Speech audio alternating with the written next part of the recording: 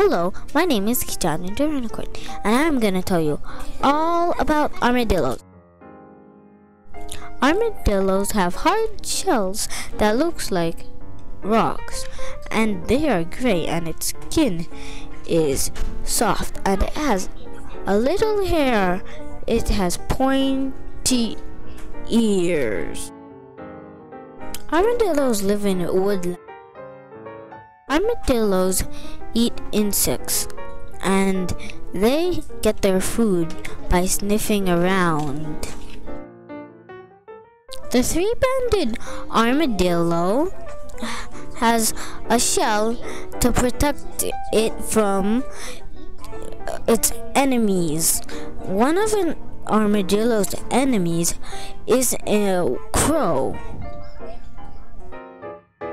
An armadillo's life cycle is first it starts as a baby and then they stay with, for, with their mom for four months and then they are an adult.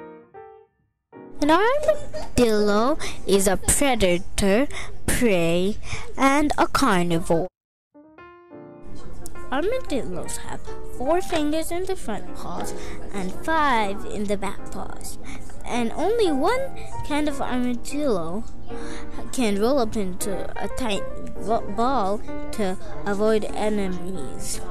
The, they only have a little teeth. Their middle toe is curved to dig.